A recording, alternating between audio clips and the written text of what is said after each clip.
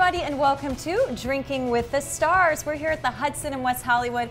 I'm Stuart Brazel, and I've got Mary Elizabeth Winstead with me today, and we're going to talk Mercy Street, your new show. So Yes. cheers! Congrats! Cheers! Thank you. Take a sip. I'm mm-hmm. drinking a little Allagash White. I love it. What do you got going on? It's a Moscow Mule. Mm. Mm-hmm. Well, tell me about this show. I'm super pumped to see it. I'm pumped for people to see it. I'm really proud of it. I'm, I'm just proud to be involved with it. It's, it's such a talented group of people and such a great story and a great bunch of stories kind of interwoven together. And um, I think it's really entertaining, but also sort of educational. This is the first PBS series that's been filmed in the U.S. in what, like yeah, a decade? Yeah, yeah, ten years, I believe. The first like American original PBS series. So, um, and they've been so excited and enthusiastic about it and supportive of us. So, fingers crossed. Okay, so tell us about the premise for those who don't know. Sure. Um, well, it takes place in a hospital in the Civil War in Alexandria, um, and it's a Union hospital, um, but it's in a you know a, a Confederate town. So it's sort of this this um, these two kind of uh, opposing sides coming together The in North this and the. South. Yeah, and and you see characters who are on both sides clashing and having to, to be in the same space, um, which is creates a lot of a lot of drama.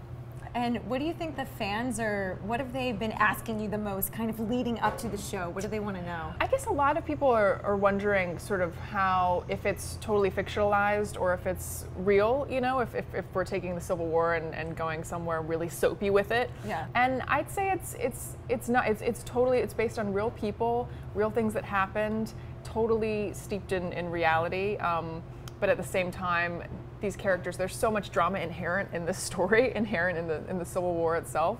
And just the directions that they go with the storylines when I hear about what they're based on, it's kind of shocking. Like, oh no, this really happened, and this is how it happened, and it's, It's so fascinating and, and entertaining to watch. And where did you film? In Virginia, Richmond, Virginia.